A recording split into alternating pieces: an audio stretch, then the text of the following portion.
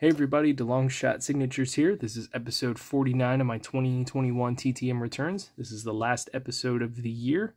Got in two successes to end everything off with. Got uh, a one of one return from former MLB pitcher Vince Horsman. Uh, he didn't play that long in the MLB, but he was in the 92 uh, Leaf set, so I definitely wanted to get him. I actually posted his address to Star Tiger back in the day and never got around to sending to him, but a whole bunch of people have gotten him back since then. So finally adding my name uh, to that list. Other one here is coming back from a college football player. I've had a lot of luck with uh, the Pittsburgh Panthers team. I've gotten now two quarterbacks, two wide receivers, and their head coach back. Uh, they've just been a really good team through the mail. I just saw someone got back a tight end from them today. So uh, curious to see what this guy does going forward. But this is a two of two success from quarterback Davis Beville. So he is the at at the moment backup quarterback uh, for Pitt. He was uh, Kenny Pickett's backup for the year. Um, he also included a cool Pitt wristband. Um, but he didn't get much playing time with Kenny Pickett playing so well.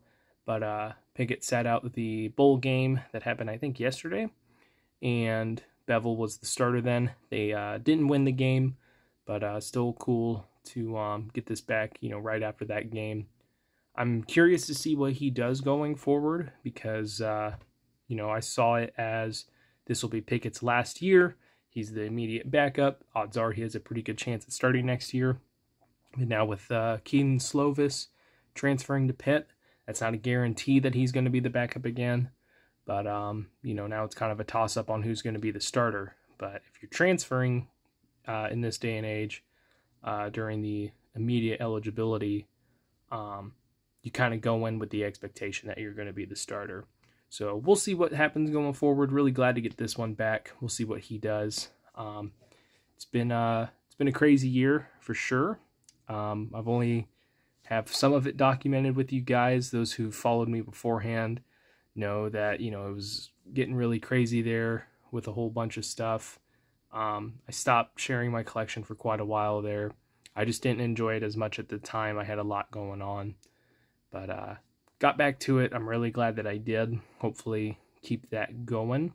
Get a, you know, nice balance here and there with everything. And uh, hopefully 2022 goes well. Um, does stink. We did have some uh, bad news today with uh, the passing of Betty White. I don't really try to talk too much about you know people passing away um, in terms of like celebrities and you know who I have in my collection and whatnot. I, have lost a lot of people that are in my collection. I think it's like 45 this year. Um, but uh, definitely stinks, you know, to end the year off with that note. But um, you know, hopefully, hopefully next year will be a little bit better uh, and everything like that. Um, excited to see what you guys do going forward as well. I enjoy watching your guys' videos whenever I get the chance and uh, try to keep up with them, but I'm not always the best at that. And uh, there's just so many of you guys, but I try to show my support where I can. But I really appreciate you guys, uh, you know, taking me back in the YouTube community and helping grow my channel throughout the year.